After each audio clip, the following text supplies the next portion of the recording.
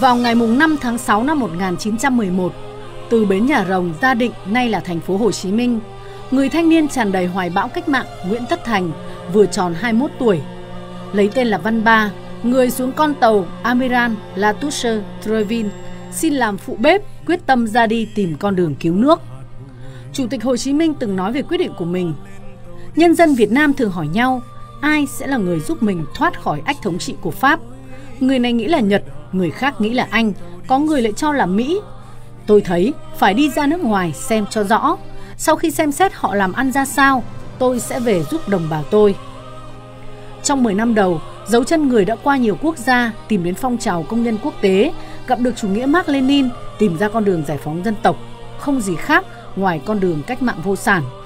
Những năm tiếp theo, người với tên gọi Nguyễn Ái Quốc ra sức truyền bá chủ nghĩa Mark Lenin, phong trào công nhân và phong trào yêu nước, chuẩn bị về lý luận cho sự ra đời của Đảng Cộng sản Việt Nam vào năm 1930.